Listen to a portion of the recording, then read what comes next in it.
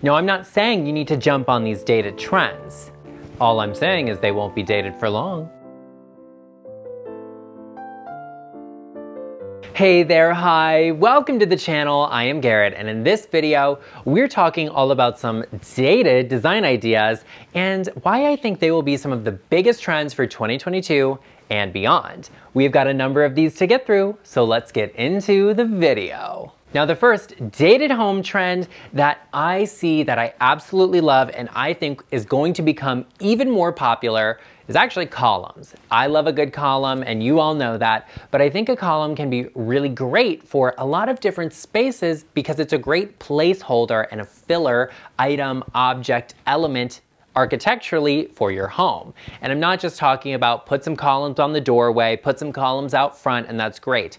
I have seen columns used in corners of spaces to create fullness and some visual interest. They can be painted to match your walls or the space. That way they blend into the background, but they provide a really good visual textured element to the space. I think a column is really great because I think it adds a sense of formality, scale, and grandeur to a space, but you can use whatever type of furniture it is you have or you enjoy. They can be mixed into just about any style and be very sophisticated.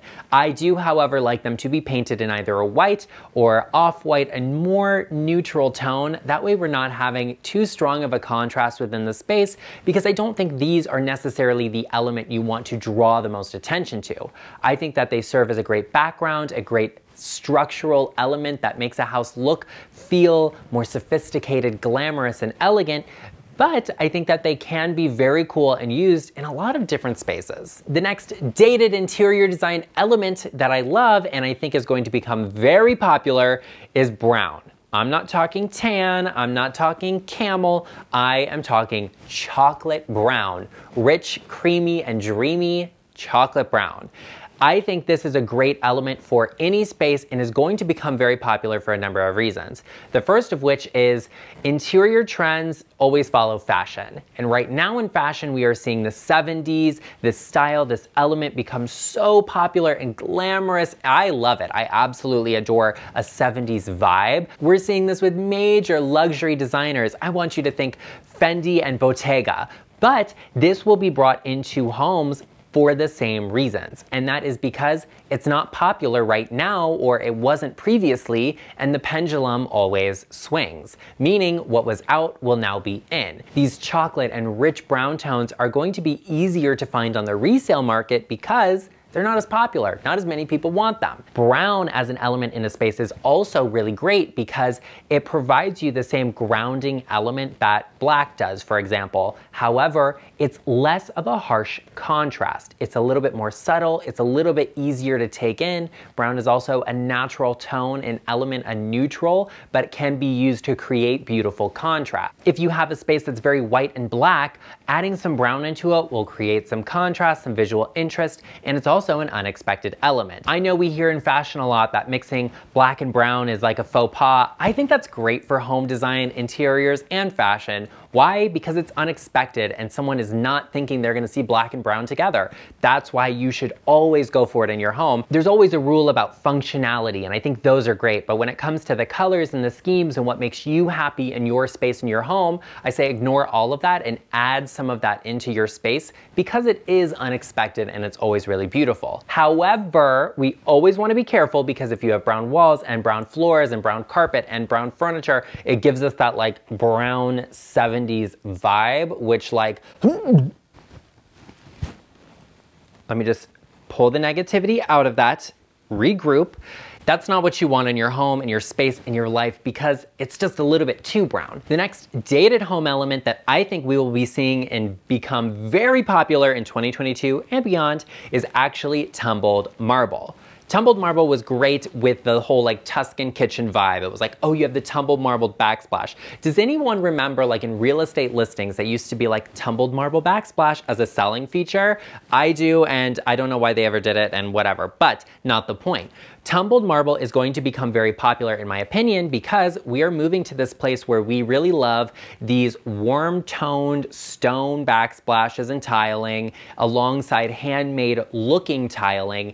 And this kind of has the best of all of that. It's great for those Tuscan kitchens, yes, but it's also going to be very, very beautiful for more modern and contemporary spaces and people that want that natural element.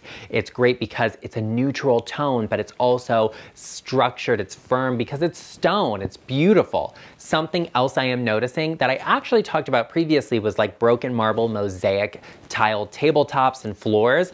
I was just at the hardware store the other day and guess what I saw? Yes, I saw sheets of broken marble mosaics, but it was all tumbled stone. So it was rounded around the edges. And you know, I thought, how beautiful was that? Because it would be amazing on a backsplash. You could use it on a shower floor. You could use it in the flooring of your entryway or maybe even an outdoor space.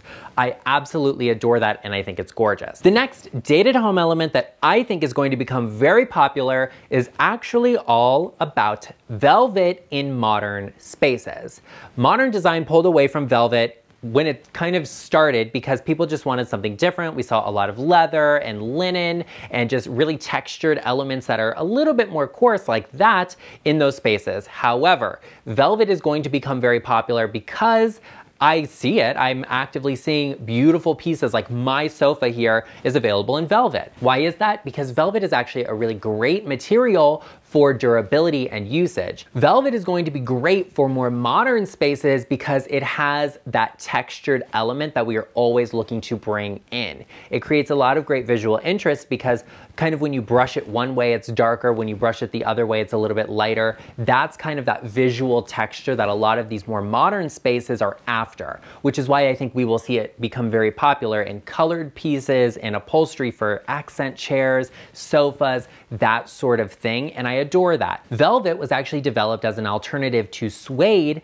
because suede was very heavy and it was very expensive and not accessible for a lot of people and, you know, the Middle Ages when people were wearing like, you know, all sorts of like layers of clothing to keep them warm. Velvet was developed as a cheaper, more affordable alternative and then kind of overtook it in terms of style, not the point. The great thing about velvet is actually the pile that it has to mimic suede. So the pile is kind of like the soft brush, loose edges of it. What that means is it will catch whatever gets on it, which is a good thing and a bad thing. Darker velvets tend to show more dust. However, they also will catch things like spills, like crumbs, and dog hair. And, and cat hair too. If you have a cat, love that for you.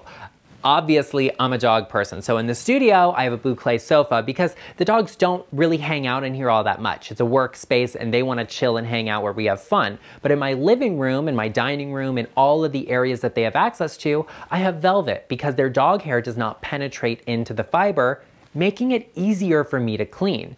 Speaking of dogs and velvet and boucle and the studio, where is Linus? Linus! Bonjour! Bonjour! Because he's French. He's French bulldog. I speak to him in French. Bonjour, monsieur. Bonjour. What do you see? What is it? what was that? Oh, yes. Was there a little bird out there? Oh, mm, you're very tired, huh? Was that a no? Do you need a nap? Do you need a nap? Look at look at the two of us together. Like look at how regal this is. Linus, you are just posing today, aren't you? Look at the little handsome gentleman. Oh, yes. Linus, what do you have to say to everyone? Oh, he said you don't have anything to say because if you're not subscribed, you need to take a minute and hit the subscribe button and turn on the bell notification to get notified every time we upload so you don't miss another one of Linus's cameos, huh? Mm. Okay, there you go. We'll see you later. The next dated design element that I think is going to become very popular because I'm already seeing it is actually crystal. And I'm not just talking about a crystal chandelier, which you know I love, and I don't care if it's dated or not because I absolutely have to have them. I am talking about crystal vases, vases, and vessels. What the difference is between all of those, you can have at it in the comment section down below. And I'm looking forward to reading through all of your conversations about it. But these are going to become very popular for a number of reasons. One is because the kind of very textured vase, vessel, vase was very popular. So we're moving on from it. People just want something different. And I am seeing this less with cut crystal and more with blown crystal. So think less Baccarat and Waterford and more Lalique and Steuben. As a matter of fact, I have this absolutely beautiful Steuben piece here that is actually all hand blown and you can see it's less cut but it's still got that sparkle and reflection that crystal has. It's really beautiful, it's weighty, it's gorgeous, meaning I could put the biggest branch in the world in here and it still is gonna hold it up, which is why crystal is so amazing. And you know I absolutely adore it. This incredible piece was actually owned by one of my all-time favorite celebrity and performers, so it has a lot of sentimental value to me, so don't DM me about selling it to you because it's not happening. But you can see it's got a lot of these really beautiful, rounded, curved elements. It's got a lot of visual interest and really beautiful. So if you had a very simple floral arrangement in something like this, it would be a statement piece. This would stand out. And that's what I really love about crystal. Something like this is a little bit more of an investment because it's quite a large piece. However, smaller pieces that are not designer can actually be had very affordably. There are actually some really incredible pieces by a lot of amazing designers like Steuben and like Lalique. You know I'm a crystal collector. I have antique Lalique lamps and beautiful pieces throughout my home. Antique pieces are going to be a little bit more of an investment. However, more modern day pieces can be had on the resale market a little bit more affordably. Definitely look into it and check it out if you are just not the person that's feeling the very textured vessel and vases, or maybe you're a little bit tired of it look for an etched or blown, some sort of interesting crystal piece that you can bring into your space because it will immediately elevate the space without adding bulk or weight or too much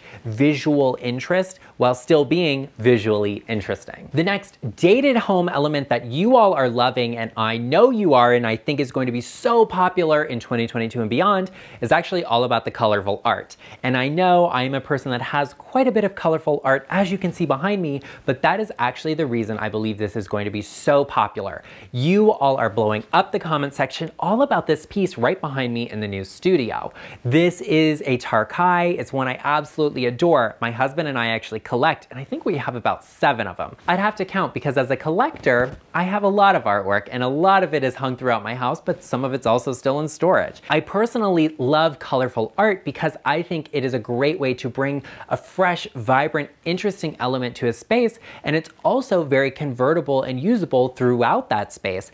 This piece behind me, for example, has a lot of green, it has a little bit of yellow and some orange hues to it, meaning I could pull any one of those out into my space and get accessories and decor, small items, even florals that would match, bring that color throughout the space and allow me versatility while still having a very beautiful and elegant but neutral space that I enjoy. Colorful artwork is great if you have a very neutral space and you're just looking for that pop, that one piece. If you have a space that does not have a natural accent feature, having a large piece of very colorful and vibrant art will be that feature for you. It's a great way to bring in personality and some elements that really represent and speak to you while still having a more neutral and a little bit more timeless space. And that's not to say these pieces of very neutral art and textured artworks are not going to remain popular or be interesting, trendy, or that you won't love them or have them forever. I just think that colorful artwork is the next big trend. It's the next big thing that's going to happen because